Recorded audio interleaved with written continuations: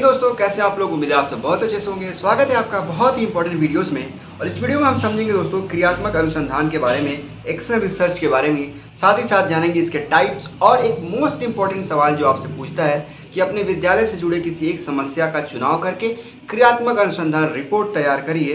तो एक कंप्लीट एक बेहतरीन और एक, एक अच्छी सी क्लास होने वाली है। आपके एग्ज़ाम पॉइंट ऑफ़ व्यू से भी बहुत ज़्यादा इंपॉर्टेंट है यह। तो आइए हम बिना किसी देरी के शुरू करते हैं। और सबसे पहले समझने की कोशिश करते हैं कि क्रियात्मक अनुसंधान होता क्या है। देखिए विद्यालय की कोई भी अगर समस्या हो समस्याएँ कुछ भी हो सकती है। बच्चा स्कूल नहीं आ रहा है बच्चा अच्छे से परफॉर्म नहीं कर पा रहा है बच्चे किसी से लड़ाई कर रहे हैं बच्चे आपस में कि, किसी भी प्रकार की समस्या हो उसको एक परिकल्पना बना के वैज्ञानिक विधि से उसको हल करना। ये वास्तव में यही क्रियात्मक अनुसंधान कहलाता है। मतलब स्कूल से संबंधित किसी भी समस्या का वैज्ञानिक विधि से, मनोवैज्ञानिक विधि से इसको सॉल्व करना क्रियात्मक अनुसंधान कहलाता है। क्रियात्मक अनुसंधान शिक्षण प्रक्रिया में दोस्तों, क्रियात्मक अनुसंधान शिक्षक की समस्याओं को इसके समाधान के लिए अत्यंत महत्वपूर्ण उपकरण है। इसके अंतर्गत शिक्षण की समस्याओं का वैज्ञानिक विधि से समाधान खोजा जाता है। अभी हम आगे करेंगे एक प्रैक्टिकल इसमें बच्चा क्या था कि बच्चा स्कूल नहीं आता था। इस तरीके की समस्याएँ थी। तो हमने एक परिकल्पना बनाई, फिर उसके बाद उस पर अप्लाई किया और बच्चा वास्तव में स्कूल आने लगा। ठीक है?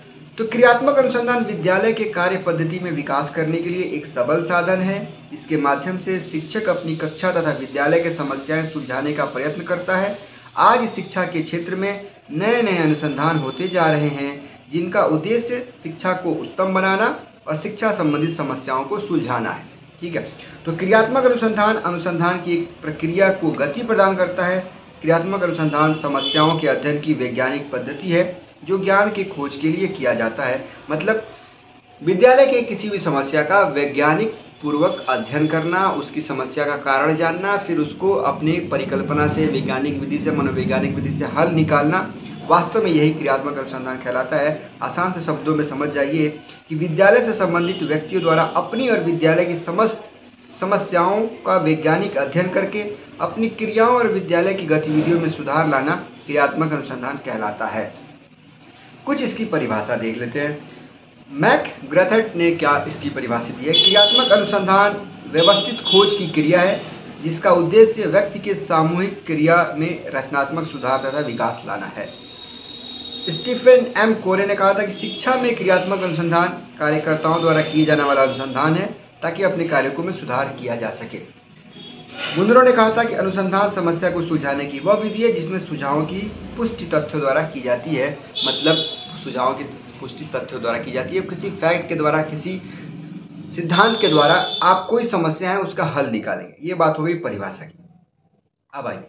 एक दोस्तों मोस्ट इंपॉर्टेंट पॉइंट यहाँ पे ये आता है, क्रियात्मक अनुसंधान के सोपान, यानी कि चरण, कितने स्टेप होते हैं क्रियात्मक अनुसंधान करने के। लिख लीजिएगा, सवाल पूछा है दोस्तों, कई बार पूछा है। पहला दोस्तों, समस्या का चयन करना, उपकल्पना का निर्माण करना, तथ्य संग्रहण की विधियाँ, तथ्यों का संकलन तथ्यों की सांख्यिकी विश्लेषण, तथ्यों पर आधारित निष्कर्ष, सत्यापन और परिणामों की सूचना।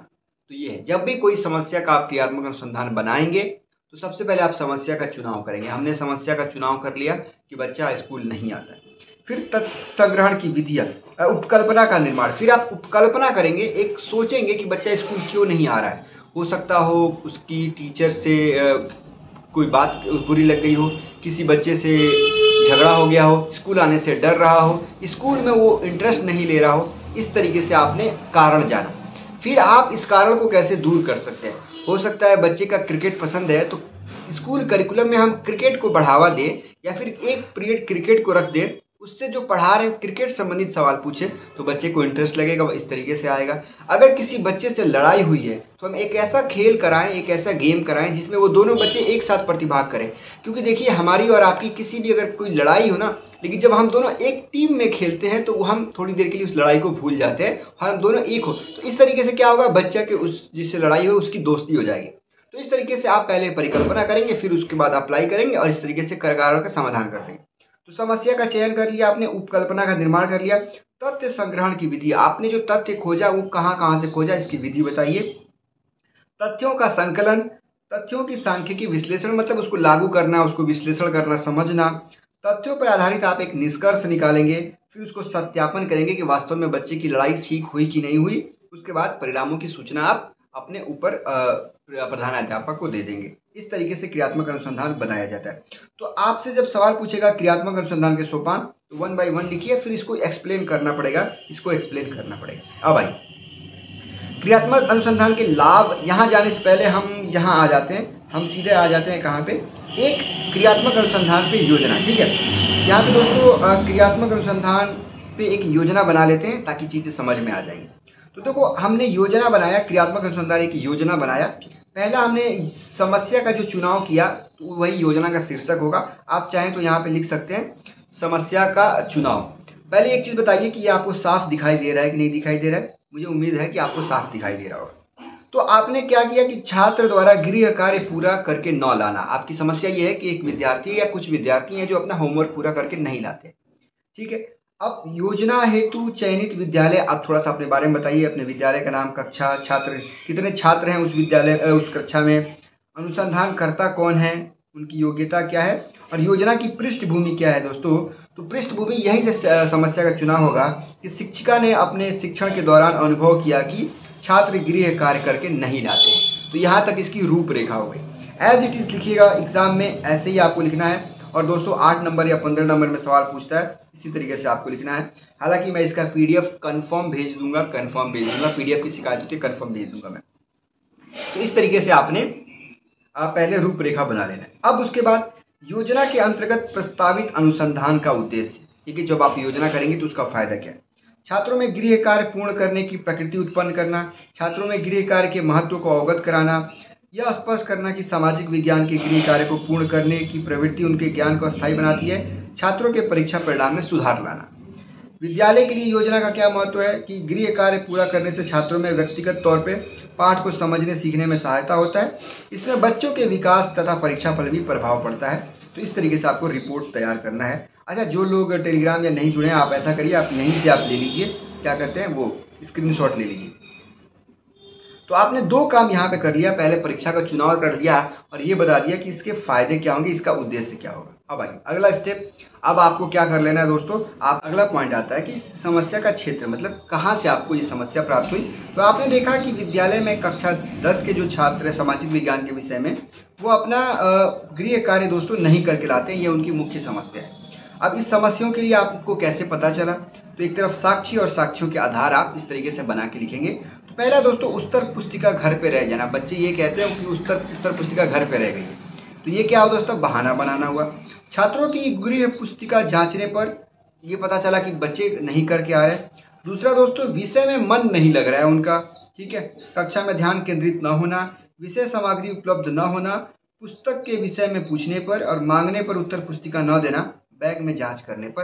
तो ये वो तरीके हैं, ये वो चीज़ है जिससे आपको पता चला कि बच्चे गृह कार्य नहीं कर रहे हैं। उस विषय में वो रुचि नहीं ले रहे। उसके बाद समस्या के कारणों का आपने विश्लेषण किया। मतलब आपने पहले समझा कि क्या कारण हो सकते हैं कि बच्चे ये गृह कार्य नहीं करके आ रहे। तो आपने कारण पता चला कि समस्या के कारण विश्लेषण करने पता चला कि केवल कुछ छात्र नहीं, बल्कि कक्षा के अधिकांश छात्र इस समस्या के अंतर्गत हैं। कक्षा में ध्यान न देने के कारण छात्र सामाजिक विज्ञान में प्रकरण में संबंध समझ नहीं पा रहे हैं। पुस्तक का खो जाना भी एक बड़ा बहाना है। कुछ छात्र पुस्तक के अभाव में गृह कार्य नहीं कर पाते हैं। तो इस तरीके के आपने आपने आपने विश्लेषण किया। आपको पता चला ये वो कारण है। विशेष टिप्पणी, छात्र गृह कार्य के महत्व को कम जानकर इसे गंभीरता से नहीं लेते हैं। तो ये आपने विशेष टिप्पणी कर दी। अब आपको क्या करना है? अब आपको परिकल्पना का निर्माण करना है, ठीक? अब उपकल्पना में आपने सोचा कि यदि हम छात्रों को दिए गए गृह कार्य को मात्रा को कम कर दें तो तथा बाद में धीरे धीरे बढ़ाएँ, छात्र पूरा करेंगे। आपने एक उपकल्पना सोचा यार हम कहीं ऐसा तो नहीं कि हम बच्चे को बहुत ज़्यादा होमवर्क दे दे रहे हैं तो थोड़ा कम कर देते हैं, फिर उसको धीरे धीरे बढ़ाएँगे। उपकल्पना, आपने दूसरा उपकल्पना सोचा कि यदि कक्षा में छात्रों का ध्यान अधिक से अधिक केंद्रित किया जाए और उनकी सामाजिक विज्ञान के विषय में रुचि उत्पन्न की जाए फिर जो भी विषय तो वो क्या करेंगे? गृह कार्य करेंगे। यदि छात्रों की उत्तर पुस्तिका को नियमित जाँच किया जाए तो वह गृह कार्य के प्रति अधिक सचेत रहेंगे, अधिक सीरियस रहेंगे। तो ये आपने तीन उपकल्पनाएँ बना ली। अब इस उपकल्पना को लागू कर लेना है। इस उपकल्पना का संख्या, का एक क्रियान्वयन करना है। तो पहला आपने उपकल्पना जो माना था, उसको आपने लागू किया। कैसे लागू किया? आपने एक तरफ़ दिखा कि क्रियाएँ जो करनी है, विधि, कौन सी विधि से आपने किया था? समय और अपेक्षित साधन। तो आपने क्या किया? गृह कार्य की मात्रा को कम करना शुरू कर दिया। लेखन विधि में, लिखने में जो गृह कार्य उसको कम कर दिया। पंद्रह दिनों तक आपने ये कार्य किया कि थोड़ा सा कम होमवर्क दिया बच्चों को। अभ्यास पुस्तिका में। प्रायोगिक कार्य की मात्रा, प्रायोगिक विधि पंद्रह दिन तक प्रैक्टिकल मेथड जैसे बच्चे को होमवर्क में आप लिखने वाला काम नहीं दे देंगे, आपने उसको प्रैक्टिकल देना शुरू किया कि आप घर से ये बना के लाना, ये बना के लाना। इसमें बच्चे ज़्यादा रुचि लेते हैं। तीसरा, आपने समस्त गृह कार्य को पूर्ण सत्र में वितरित कर दिया। आपने पूरा एक विवरण बना लिया इतना हमारा गृह कार्य है, पूरे सत्र में थोड़ा थोड़ा करके कैसे हमें देना है। छात्रों को अपने अनुभव से लिखने को कहना, लेखन विधि, सप्ताह में एक बार, और ये सारी चीज़ें आप इसको ऐसे ही लिख लीजिएगा। मतलब आपको समझाने का मतलब ये है कि किस तरीके से आपने बच्चे का वैज्ञानिक तौर पे आपने बच्चे के अंदर ये सुधार ले आया कि वो बच्चा धीरे धीरे होमवर्क करने लगे। ठीक है? आपने पहली उपकल्पना जो बनाई थी, वो थी कि अगर छात्रों को कम कर दिया जाए तो इस तरीके से आपने छात्रों को गृह काम कम दिया, प्रायोगिक काम बढ़ा दिया और गृह कार्य को संपूर्ण सत्र में वितरित कर दिया और छात्रों को खुद से लिखने के लिए कहा। इस तरीके से डेफिनेटली बात है इस तरीके से बच्चे का होमवर्क न करने की आदत जो है, वो सही हो जाएगी। दूसरा जो आपने उपकल्पना करी थी, उसको भी आपने लागू कर दिया। क्या लागू किया? छात्रों को सहायक सामग्री का प्रयोग करने के लिए कहा गया, दो सप्ताह तक श्रव्य दृश्य सामग्री।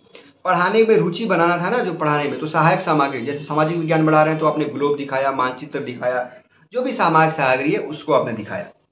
समय सारणी में छात्रों की अन्य साथियों को शामिल करना, व्याख्यान विधि, एक माह तक ग्लोब एवं मानचित्र का प्रयोग, छात्रों को प्रेरित करना थोड़ा सा मोटिवेशन करना, व्याख्यान विधि, इस तरीके से आपने छात्र के, छात्र की पढ़ाई जो थी उसकी उसकी, उसको रुचिपूर्ण बनाया।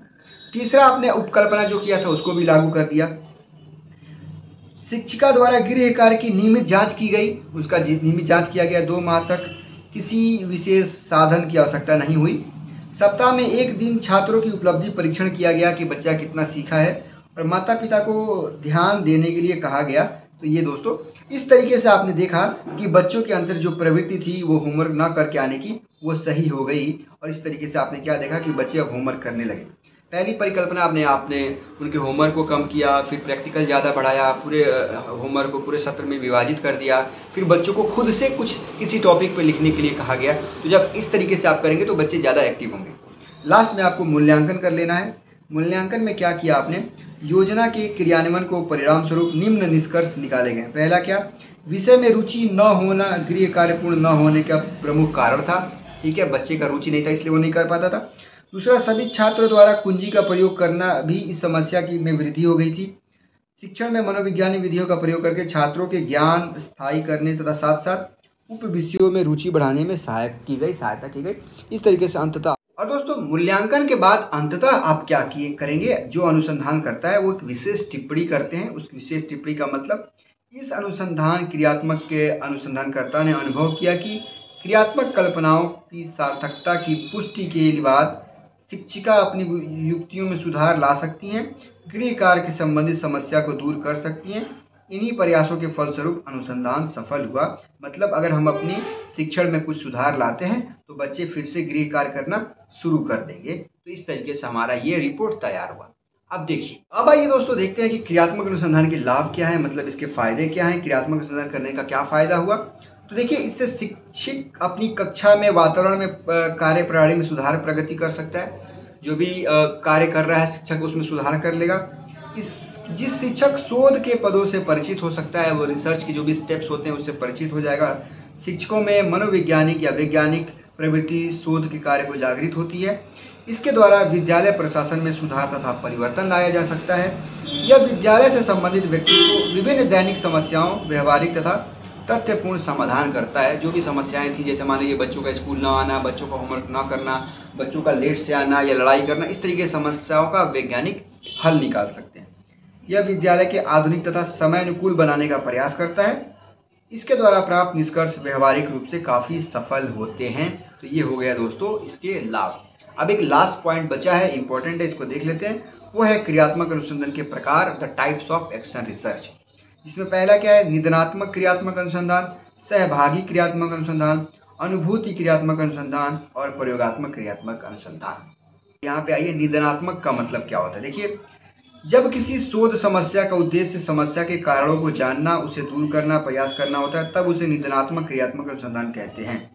यदि कोई विद्यार्थी परीक्षा में नकल करता हुआ पकड़ा जाए तो उस बालक की समस्या को जानना तथा उसे दूर करने का प्रयास करना ये क्या कहलाता है? निधनात्मक कहलाता है। आपने कारण को जाना, फिर उसे दूर किया।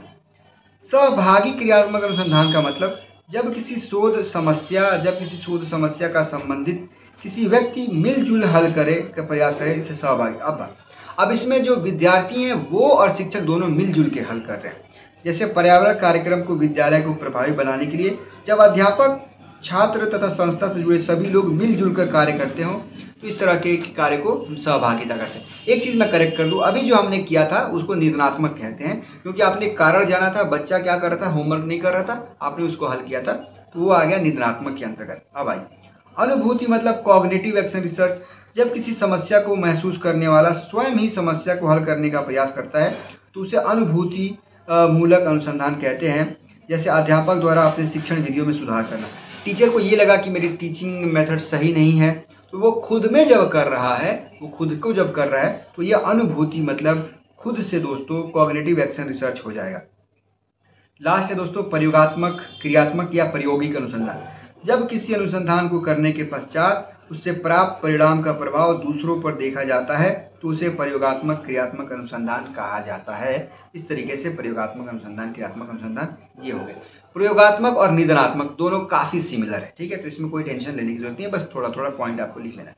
एक और पॉइंट जो आपसे सवाल में पूछा गया है, वो ये है दोस्तों, क्रियात्मक अनुसंधान और मौलिक अनुसंधान का मतलब बता दीजिए शॉर्ट में। तो क्रियात्मक अनुसंधान में अनुसंधान करता अध्यापक या निरीक्षक होता है और मौलिक अनुसंधान में अनुसंधान करता विद्यार्थी होता है। तो ये हो गया दोस्तों कंप्लीट आपके क्रियात्मक अनुसंधान के बारे में। इसी से दोस्तों संबंधित आपसे सवाल पूछे जाते हैं, इसी से संबंधित आपको सवाल लिखना होता है।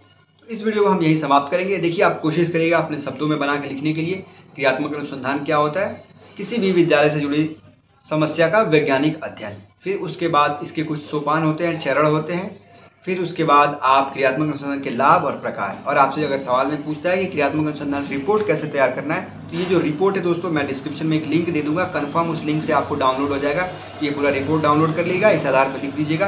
एज इट इज़ लिख के आएगा नंबर आपको ज़रूर दीजिएगा ठीक है? तो इस वीडियो को हम यही समाप्त करते हैं। आशा करते हैं कि यह वीडियो आपके लिए सहायक होगा। इस वीडियो में फ़िलहाल इतना ही। नहीं जुड़े चैनल से तो सब्सक्राइब करके चैनल से जुड़ जाइए। वीडियो पसंद आई तो लाइक कर दीजिए। अपने दोस्तों तक शेयर करिए। जय हिंद।